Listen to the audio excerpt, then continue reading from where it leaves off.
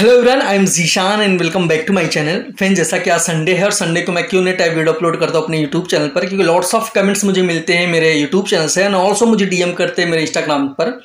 क्योंकि आप सब जानते हैं, मैं अपने जॉब के साथ साथ यूट्यूब भी रन करता हूँ, जिसके कारण मुझे टाइम नहीं मिल पाता।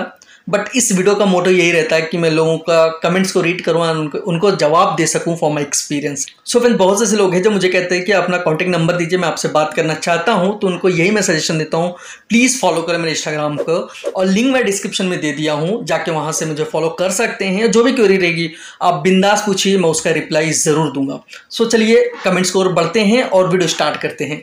सो so, फ्रेंड जैसा कि फ़र्स्ट कमेंट यहाँ मैं पढ़ पा रहा हूँ जिनका नाम है दीपक झा इनका कहना है भैया, मैं पंद्रह डे से काम कर रहा हूँ। क्या क्या काम होता है, बताएँ प्लीज़ आई डोंट नो कि कहाँ आप काम कर रहे हैं बट मैं सीए को लेता हूँ। एज अ सीए प्रैक्टिस में क्या क्या काम होता है, मैं ये ज़रूर बताना चाहूँगा आपसे।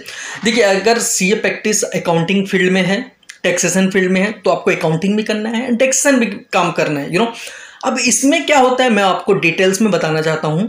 देखिए बहुत लोगों का क्यूरी होता होगा कि सी में क्या काम होते हैं तो मैं ये बताना चाहता हूँ। देखिए सी ए फॉर्म में आप अकाउंटिंग भी करते हैं एंड टैक्सेशन भी कर सकते हैं। लेकिन ये बात नहीं है कि बहुत से सी ए सिर्फ़ टैक्सेशन की ओर यू नो अपना रुख करते हैं यू नो सिर्फ़ टैक्सेशन का काम करते हैं, बस अकाउंटिंग नहीं करते लेकिन बहुत से ऐसे सीए हैं जो प्रैक्टिस में अपना अकाउंटिंग का भी काम करते हैं टैक्सेशन का भी काम करते हैं। लेकिन अकाउंटिंग में क्या काम होता है? आप जैसे सब जानते हैं, बहुत लोग नहीं जानते अब सेल की एंट्री है अकाउंटिंग के अंदर। सेल की परचेज की एंट्री होती है एक्सपेंस की बुकिंग होती है, या फिर you know debtors and credit के रिकनसाइल होती है। अब ये सारी चीज़ें एंट्रियाँ होती हैं। आपको समझ होनी चाहिए अगर आप अकाउंटिंग फ़ील्ड में हैं। मैं टैक्सेशन की बात नहीं कर रहा हूँ। अगर आप अकाउंटिंग फ़ील्ड के अंदर है तो आपको इतना समझ होना चाहिए कि अकाउंटिंग की जो लास्ट स्टेप होती है, वो फाइनलाइज होती है। उसके बाद ख़त्म हो जाती है। अकाउंटिंग फ़ील्ड की मैं बात कर रहा हूँ। आपको अगर समझना है क्या क्या काम होता है तो मैं जैसा कि बोला कि सेल की एंट्री परचेज की एंट्री बैंक की स्टेटमेंट की एंट्री जो भी होती है डेटर्स एंड क्रेडिटर की जो भी रिकनसाइल होती है पेबल रिसीवेबल ये सब भी आपको देखना होता है कि कौन सा यू नो पेबल है, कौन किससे हमें रिसीव करना है, किसको हमें पे करना है। अगर आप माल सेल कर रहे हैं तो आपको रिसीव करना है। अगर आप माल परचेज कर रहे हैं यू नो अगर माल परचेज कर रहे हैं तो आपको पेमेंट करना है। ये सारी चीज़ें को आपको यू नो प्रॉपर आनी चाहिए। और आप बात हम टैक्सेशन की कर लेते हैं कि सबसे पहले तो आपका जो टैक्सेशन में काम ज़्यादा होता है, जो ओवरलोडेड होता है, वो जीएसटी का होता है। एंड सेकेंड थिंग एक जो मेन एक साल के अंदर आता है, वो हम इनकम टैक्स उसको कहते हैं, जो एक साल में आप फ़ाइल करते हैं। लेकिन जो जीएसटी है, वो आपको मंथली फ़ाइल करना होता है। एंड सेकंड थिंग ये भी है कि टीडीएस भी आ जाता है। अगर आपका जो भी आप जिस क्लाइंट को लिए हैं या फिर आप जिस क्लाइंट का काम कर रहे हैं उसकी टर्नओवर क्या है या फिर वो किस बेस पर काम कर रहा है, किस पर्पज़ पे काम कर रहा है, क्या वो अप्लीकेबल है टीडीएस के दायरे के अंदर आता है, ये भी बहुत ही ज़्यादा ज़रूरी है। अगर आप टीडीएस पे वर्क कर रहे हैं तो अगर करना चाहते भी हैं तो ये जानना बहुत ही ज़रूरी है, क्या मैं टीडीएस के दायरे के अंदर आता हूँ, क्या मुझे काटना टीडीएस ज़रूरी है, ये भी चीज़ें देखना होता है। बट अगर जीएसटी आपके पास है, आपके पास नंबर है तो आपको जीएसटी को भरना बहुत ही ज़रूरी है। वो चाहे नील ही क्यों फ़ाइल ना कर रहे हो। अगर आप जीएसटी नंबर आप निकाल लिए हैं तो आपको रिटर्न फ़ाइल करना बहुत ही ज़रूरी है। राइट अब हम ये समझ लिए कि सी के अंदर आई थिंक होता क्या है? मोटा मोटी में बता दिया। डीपली हम जाएँगे तो बहुत से ऐसे काम होते हैं, जो एक्चुअली में बताऊँगा तो आपको समझ में नहीं आएगा बट मोटा मोटी जो होता है रेगुलर काम होते हैं, वो मैं आपको शेयर कर दिया। तो दूसरा कमेंट्स ये है, जिनका नाम है शिव शंकर प्रजापति। इनका कहना है कि, सर नॉर्मल अकाउंटेंट को ऑनलाइन वर्क कैसे मिल सकता है? Part time work please tell me देखिए ऑनलाइन वर्क करने से पहले हमें ऑफलाइन वर्किंग का नॉलेज होना बहुत ही ज़रूरी है। ठीक है? अब ये नहीं, हमारा बेसी मज़बूत नहीं है और हम चले बिल्डिंग बनाने। ये तो ऐसी बात होगी। क्योंकि जब तक हमारा फाउंडेशन अच्छा नहीं होगा तो हम अच्छे से कोई भी तरीके से हमारा जो बिल्डिंग है, क्योंकि एक नींव अच्छी रखी जाती है एक बड़े बिल्डिंग के लिए। क्योंकि अगर हाइट आपको लेना है तो आपको नींव अच्छा रखना होगा। तो सेम थिंग यही है, अगर आपको ऑनलाइन वर्क करना है, कोई क्लाइंट ऑनलाइन हायर करना है तो उसके बारे में बहुत ही ज़रूरी है जानना, जो चीज़ आप करने जा रहे हैं, जो चीज़ आप सीखने जा रहे हैं जैसा कि आपने बोल दिया सर अकाउंटेंट नॉर्मल अकाउंटेंट को ऑनलाइन वर्क कैसे मिल सकता है? पार्ट टाइम वर्क कैसे मिल सकता है?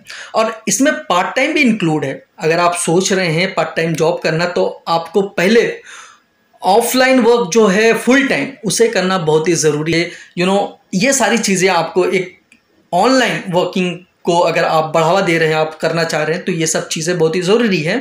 आपको कॉन्फिडेंस होना यू नो एंड ये सोच रहे हैं पार्ट टाइम वर्क कैसे कर सकते हैं तो पहले फुल टाइम आपको करना होगा। आप सोच रहे हैं कि एक क्लाइंट हायर किया जाए ऑनलाइन और उसे हम पार्ट टाइम घर पर करें तो पहले तो ये समझना होगा। अगर आप एज अ फ्रेशर हैं, आप सोच रहे हैं कि अच्छा बहुत लोग की मैंटेलिटी फ्रेशर भी होती है कि कि मैं एज अ फ्रेशर हूँ, मुझे, मैं टैली सीख लिया हूँ, मेरे पास सर्टिफिकेट आ गया, क्या मुझे जॉब मिल सकता है ऑनलाइन एंड पार्ट टाइम भी बहुत लोग ऐसे पूछते हैं सवाल तो मैं उनसे यही कहना चाहता हूँ, अगर आपको पार्ट टाइम जॉब करना है तो पहले आप प्रैक्टिकल कहीं कर लीजिए वरना आपका पोपट हो जाएगा, ठीक है?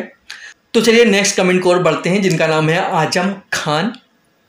इनका कहना, सर, मैंने 1.6 ईयर तक सीए के अंडर में वर्क किया है, मुझे जॉब मिल सकती है, कैसे मिलेगी? तो देखिए मेटर ये नहीं कहता आप कितने टाइम तक जॉब कर रहे हैं मेटर ये कहता है आपके पास नॉलेज कितना है। ठीक है? नॉलेज बहुत ही ज़रूरी है। ज़रूरी नहीं किसी आप एक्सपीरियंस लेते रहे लेते रहे, कई साल तक एक्सपीरियंस ले, बीस साल तक एक्सपीरियंस ले, आपके पास नॉलेज नहीं है। बहुत से ऐसे लोग हैं जो काम करते रहते लेकिन क्या करते उनको खुद को नहीं पता। लेकिन ऐसा नहीं होना चाहिए। आपको यू नो समझ होनी चाहिए मैं क्या कर रहा हूँ कि मैं एक टारगेट बिठा लो कि तीन महीने में मुझे ये सीखना है, तीन महीने में ये सीखना है, तीन महीने में ये सीखना है एंड एक साल में मुझे ये सारी चीज़ें आ जानी चाहिए। ये एक टारगेट बिठा के आप काम करेंगे, कहीं सीखेंगे तो आई एम श्योर कि आप एक अच्छे अकाउंटेंट बन सकते हैं। ज़रूरी नहीं है आप एक फ़ील्ड में आप अदरवाइज़ कुछ वर्क कर रहे हैं। आप एक टारगेट बिठा लो, क्योंकि टारगेट बहुत ज़रूरी है किसी चीज़ को यू नो इम्प्रूव करने के लिए या फिर किसी चीज़ को हासिल करने के लिए टारगेट बहुत ज़रूरी है, क्योंकि टारगेट बिठाना छोटे छोटे टारगेट से आप बड़े बड़े टारगेट को आप अचीव कर सकते हैं, ठीक है? तो अब ये मैटर नहीं करता, आप एक साल करो, दो साल करो क्या मैं जॉब के लिए एलिजिबल हूँ कोई बड़े फॉर्म के अंदर, यो बड़ी कंपनी के अंदर? तो नॉलेज का होना बहुत ही ज़रूरी है। आप क्या सीखे वो मैटर करता। आप कितना टाइम बिताए वो मैटर नहीं करता, ठीक है? चलिए अब लास्ट कमेंट्स ये है, और आई होप सो आपको अंडरस्टैंडिंग हुई होगी जो भी मैं बताया होगा इन तीन कमेंट्स में। तो चौथा कमेंट्स है पूनम यादव। इनका कहना है, टेली कोर्स करने के बाद वर्क फ्रॉम होम कर सकते हैं ऑनलाइन काम। देखिए, मैंने बोला ना प्रीवियस में मैंने बोला कि ऑनलाइन लोग टेली कोर्स कर लेते हैं, सीख लेते हैं सर्टिफिकेट आ जाती है, फिर उनको ये समझ में आता है, क्या मुझे जॉब मिल सकती है ऑफलाइन तो मैडम, मैं आप सभी से कहना चाहता हूँ, जो भी मेरे व्यूअर्स हैं, प्यारे प्यारे, उनको मैं कहना चाहता हूँ टेली कोर्स करने के बाद वर्क फ्रॉम होम कर सकते हैं। ये देखिए, बहुत ही अपने में ही कोई जवाब नहीं है इसका। क्योंकि आपको ज़मीनी वर्क करना होगा, ज़मीनी वर्क क्या आपको कहीं जाके प्रैक्टिस करना होगा? किसी सीए के अंदर, किसी अकाउंटेंट के अंदर आपको प्रैक्टिस करना होगा।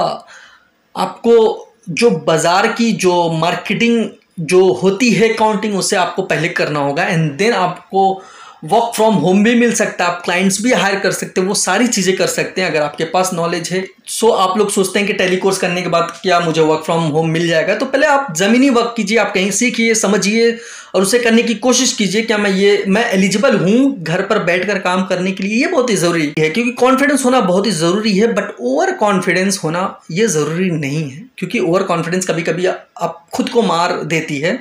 कि कभी कभी ऐसा होता है कि हम ओवर कॉन्फिडेंस कुछ भी बोल देते हैं, या मैं कर सकता हूँ, बस कर सकता हूँ बट जब करने की बारी होती है, तब रियलाइज़ होता है, यार, मैंने गलत बोल दिया। तो ऐसा होता है। तो डोंट वरी यार, सब कुछ लोग कर सकते हैं बट अपने ऊपर भरोसा रखो पेशेंस रखो हार्ड वर्किंग के साथ साथ आप यू नो स्मार्ट वर्किंग करना सीखो। कब तक हार्ड वर्किंग करेंगे? हार्ड वर्किंग वही करता है जिन्हें स्मार्ट वर्किंग में भरोसा नहीं रहता। स्मार्ट वर्किंग बहुत ही ज़रूरी है लाइफ को यू नो एक अच्छा मूवमेंट देने के लिए, ठीक है? तो आई होप सो आप लोगों को जो भी मैं समझाया हूँ, अच्छे से समझ में आ गई होगी।